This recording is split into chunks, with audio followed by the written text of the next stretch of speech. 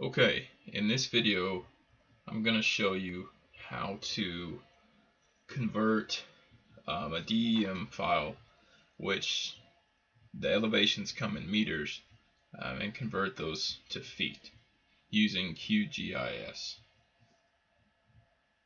So here is our DEM file which comes in a zipped up folder and I've extracted it and this is the way it looks and it's a geotiff file.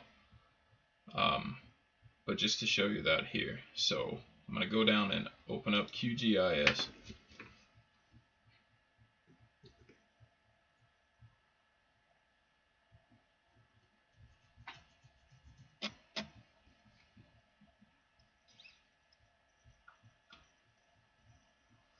okay.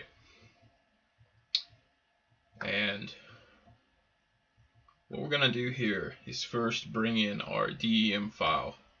Um, so we come up here to raster, right, sorry, um, to layer, and we're going to add layer, and we want to add a raster layer. So a raster is, is just a essentially a picture and each pixel represents a value. In this case, for the DEM, each value is an elevation. Um, so Within this dialog box, we want to search um, and find our raster, our TIFF image file. So we hit OK and hit Add. And it pops up pretty quick there in the background. Just close this. So we can see over here, this is kind of the scale. Um, so 233 to 268. And so these are in metric units. And we want to convert those to feet. So we come up here to the raster drop-down menu and raster calculator. So here's our DEM file and down here it allows for an expression for the raster calculator. So what we want to do is let's double click this and it drops it down into here. So we want to take the current raster and basically convert it to feet. So the conversion there is to multiply meters. So we hit the times operator and then come in here and type 3.28084. So that would be the conversion from meters to feet. And so this does this for every single cell within the raster file. Um, so it's outputting it to our same um, projection, so we don't have to worry about that.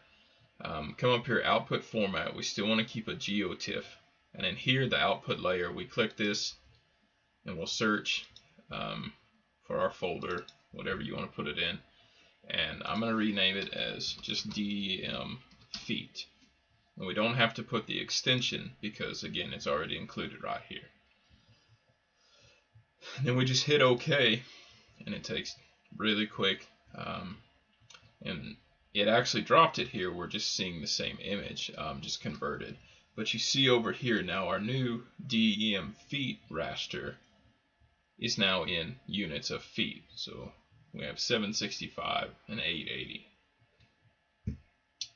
And essentially that's it as far as converting our DEM um, to feet. So the horizontal units, which are the projection, will still be in feet and they're still retained. And all that it had converted was the individual cell um, values. Okay, so that's the end of this video.